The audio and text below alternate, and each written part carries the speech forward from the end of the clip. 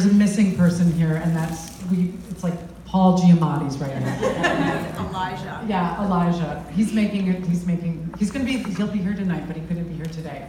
I thought I said like woman only. I know.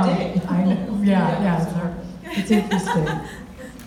I also want to thank Netflix for working with us on the premiere of the film here at the Film Festival. So it was really great to share the movie with you and to have you all here um, this morning and tonight. Yeah, we're so excited.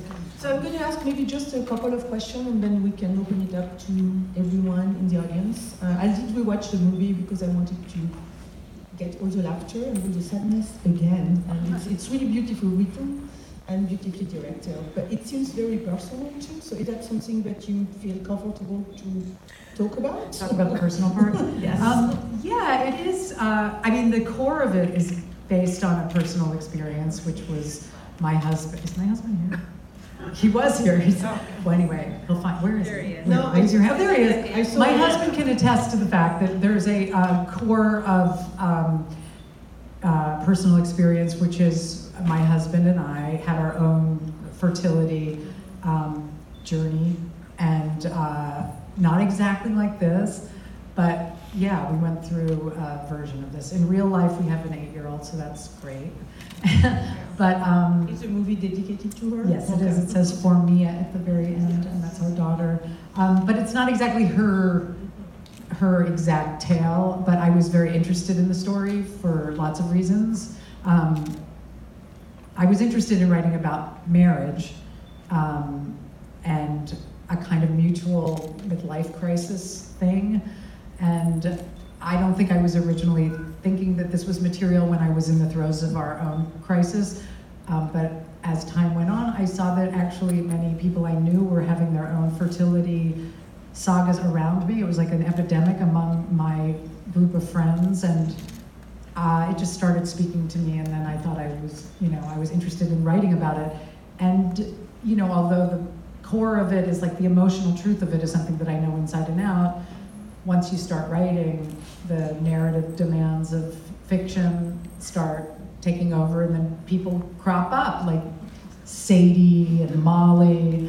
Um, so inventions and fiction, and so it just becomes this third thing, not necessarily a memoir, but something I certainly understand pretty well.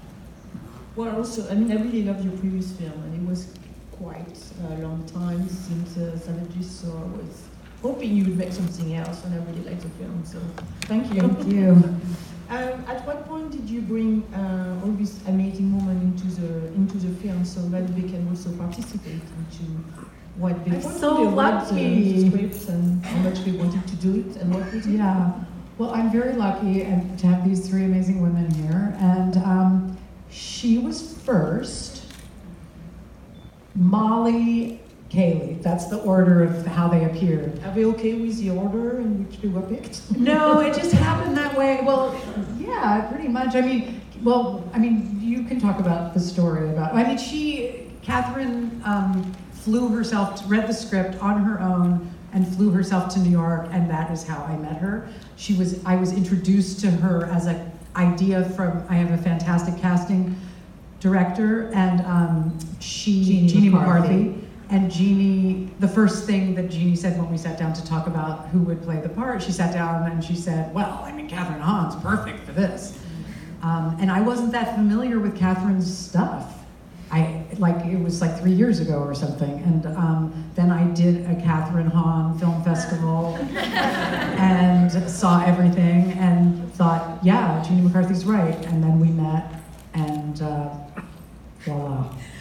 I did fly. I flew my myself for basically for for dinner, like an early dinner. Like I, I got on a plane. I met her in, on the Lower East Side. We went to her like local Italian joint. It's not my local Italian joint. It's super fancy. It's super fancy. I was like, this oh, is she fancy. Made, she made you pay for your dinner too? No, I think we split. No, we split. I know I paid for it. You flew on a plane. Oh, you're right. I did fly on a plane. We split a bottle of rosé. It's just like a local watering spot called Il Buco. it was called Il Buco. It was very nice. It's trying to be, you know, classy.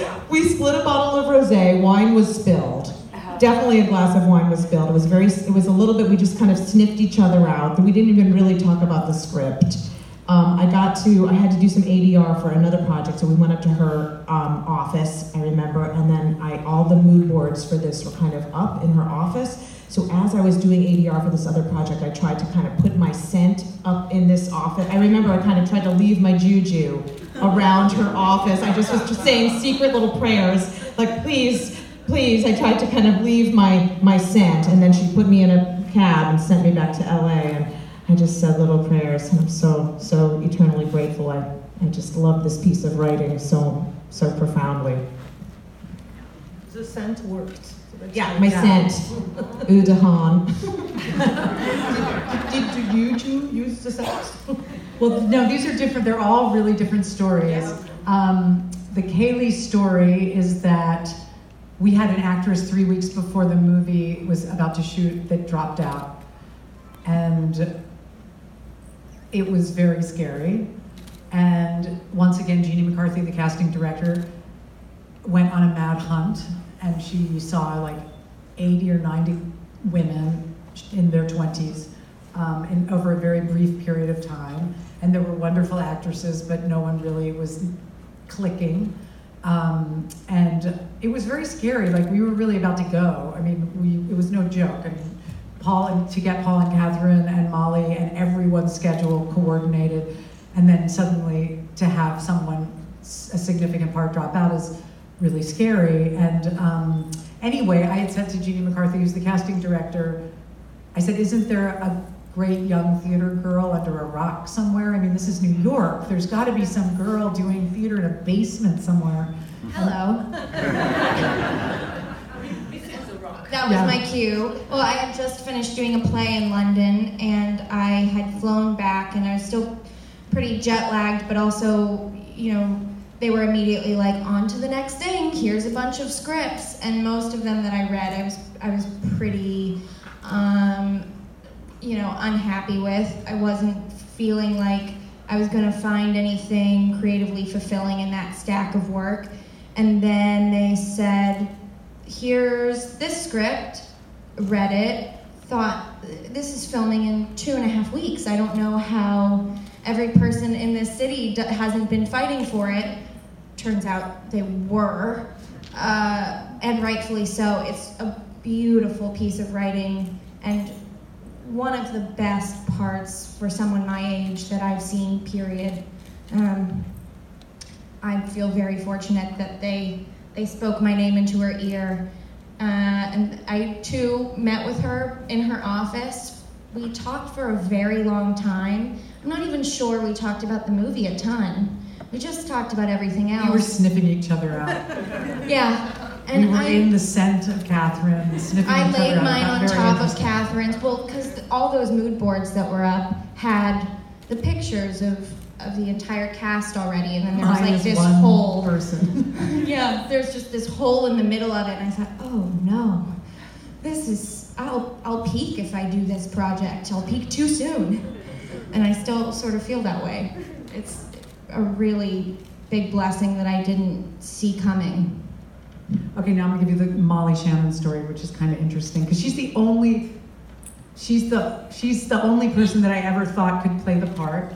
The first thing, a friend of mine read the script, a filmmaker friend, and um, she said, "Oh my God, that character, she's such a bitch," and I got really scared that it was this one-dimensional character. Cynthia was just a. She said it in a loving way, my friend, like, "Oh, she's like a fun bitch," and I got really worried that she was this like weird flat cartoon bitch. Um, and I saw Molly. I had met Molly once, very briefly, and um, I saw her in that movie, Other People, and which is a a film that she made last year or the year before. Now I can't remember exactly when it was.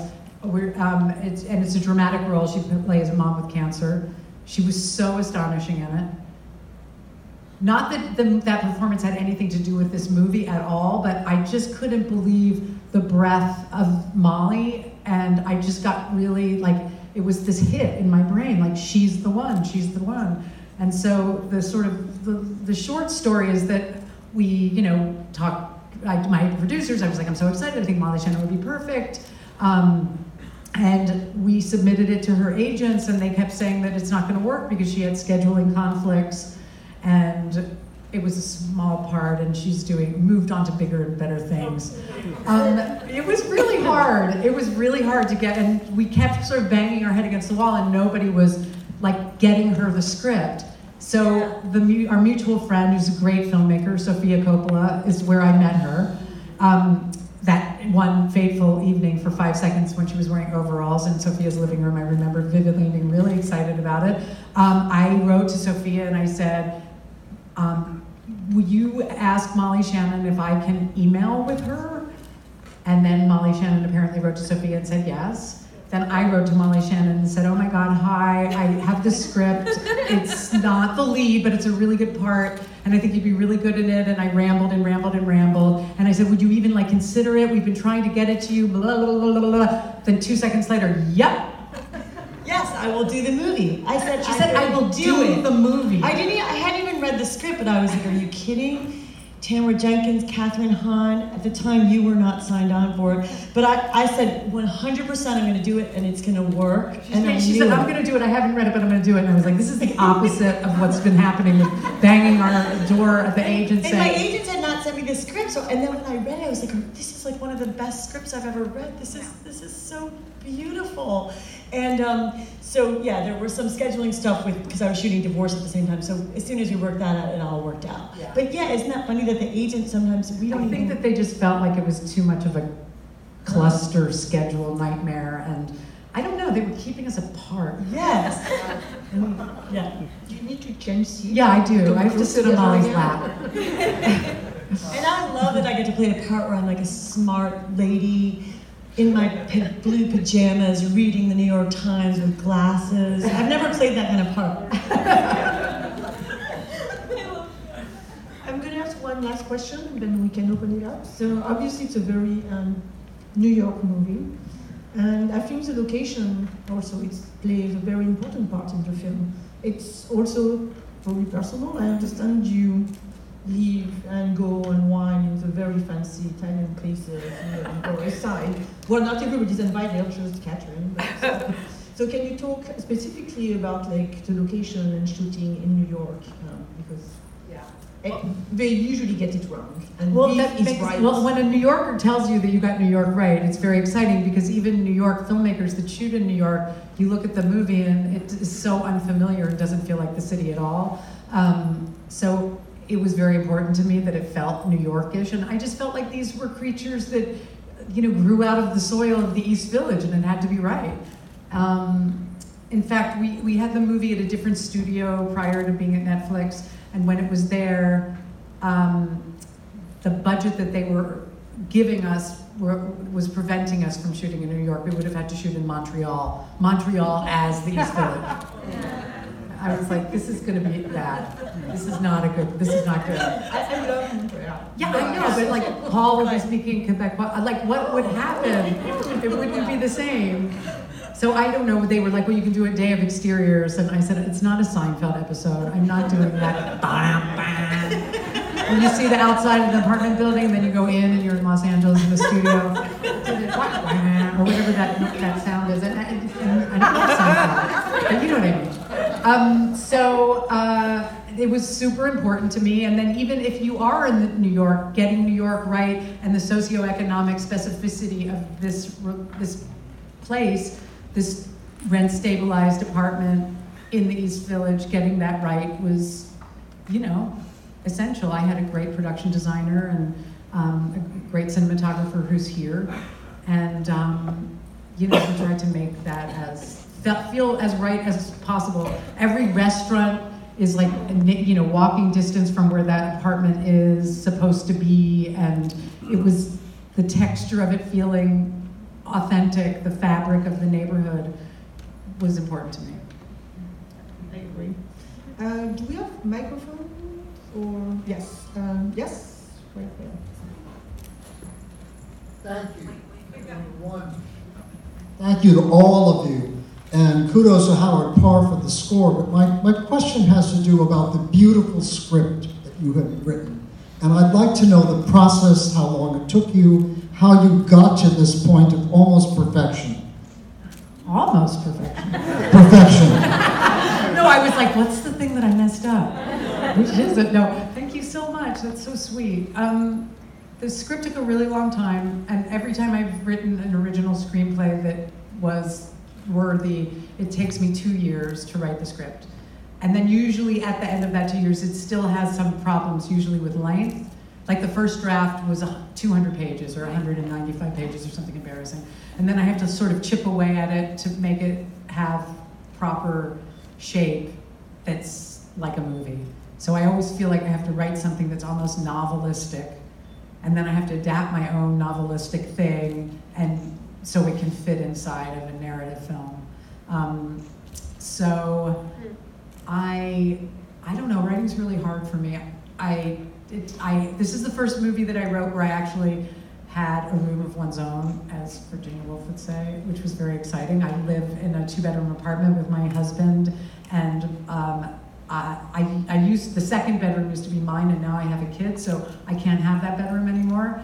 And I had to rent a space on Christie Street for the first time in my life. To actually have a space outside the home to write is very different because you can't drift from the desk to oh I should do the dishes or oh my god I have to you know I should run out and get milk. Like there's a weird split to like really remove yourself from the domestic realm to write.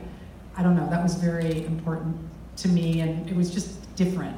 And I was very disciplined about it because I had a kid, and I would drop my daughter off at school. Plus, I was paying rent, which is a great incentive to work because I was so freaked out that I was spending money on renting an office that I better use it every day.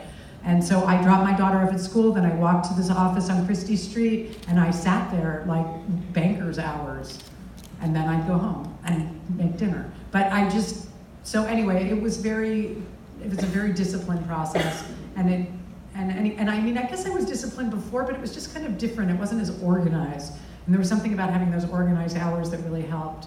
And um, I don't know, that thing about showing up at your desk every day that everybody talks about with regards to writing is very important. And I really felt like if I wasn't sitting at that desk, that things would fly by and I wouldn't be able to catch them like balls, like, you know, with my mitt. And if I didn't have my mitt on, I wouldn't catch these, you know, free flying ideas. So anyway, that's sort of, it's hard to talk about writing without being really boring and napping and all the things that you end up doing, but that's sort of a answer.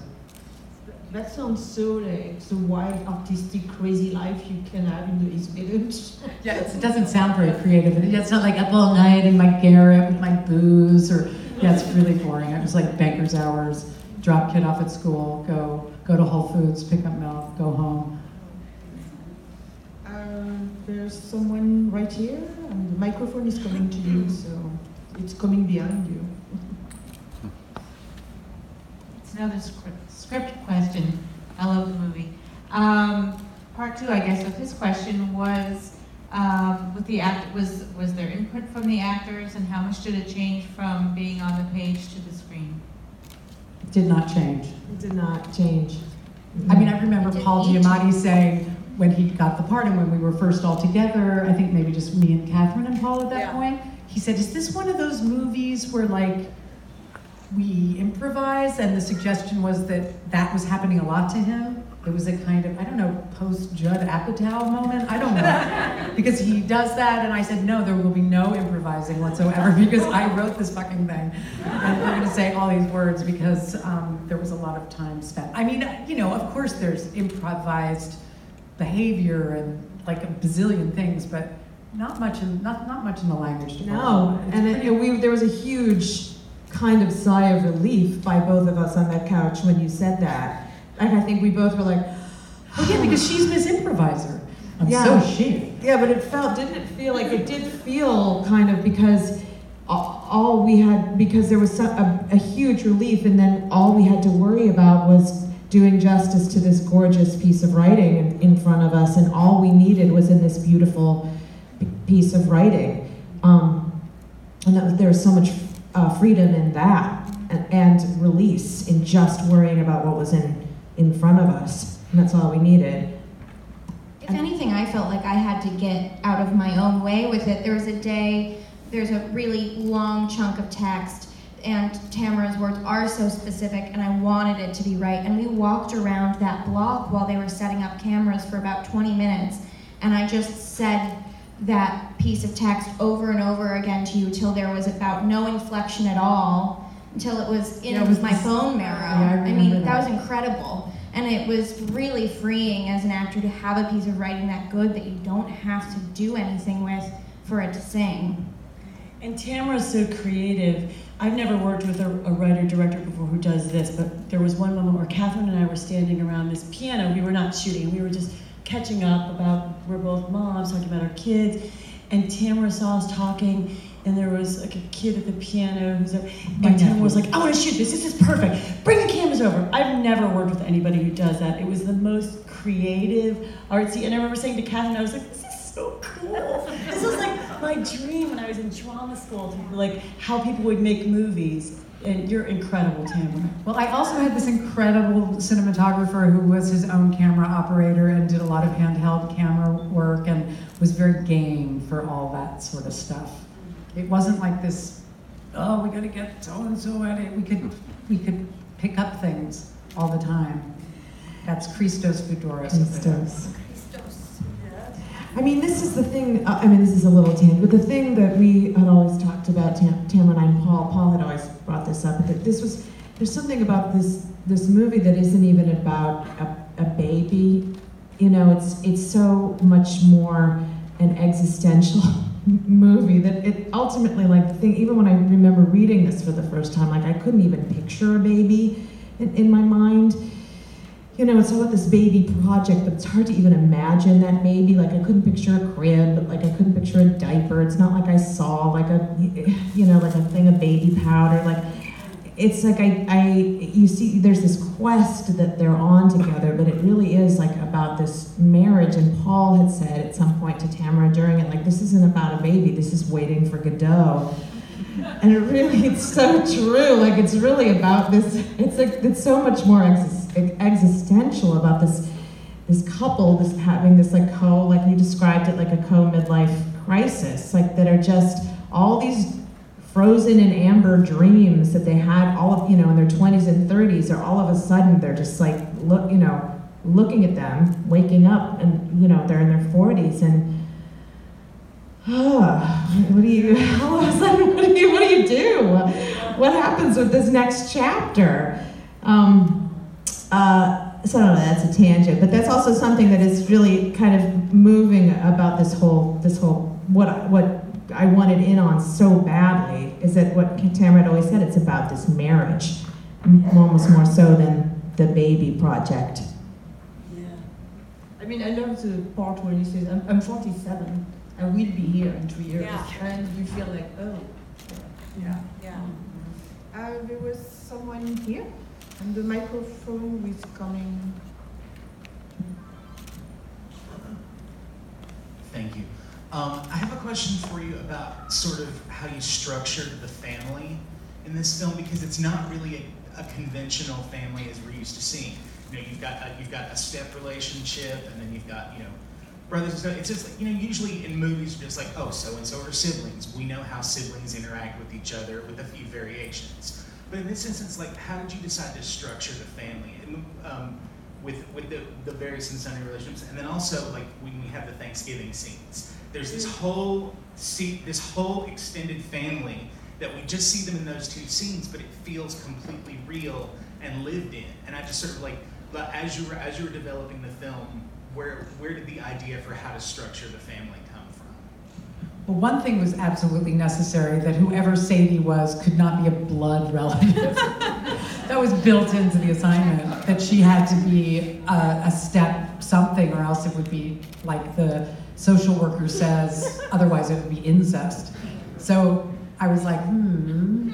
Um, and so that was sort of a that was a built-in thing. I mean, it's interesting because the movie starts like on such a just the two of them, and then it kind of blooms out, and it, and it's the impact of their their decisions on an entire family, and it sort of it expands. Um, I don't know. I mean, I think that that detail like set the precedent. I mean, set the thing in motion that she needed to be a step person. I mean, I don't know. My life is filled with steps and um, people by you know in law. I mean, I don't know. It's all cobbled together, and and so it's something familiar. Um, I don't know. I love doing the Thanksgiving thing. I mean, it was we were so in that little apartment for so long. That apartment we shot for 12 days of a 30-day shoot or something like that.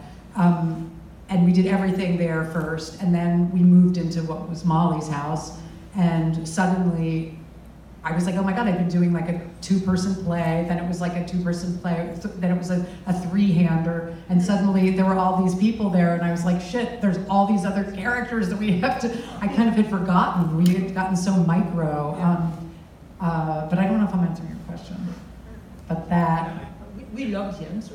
okay.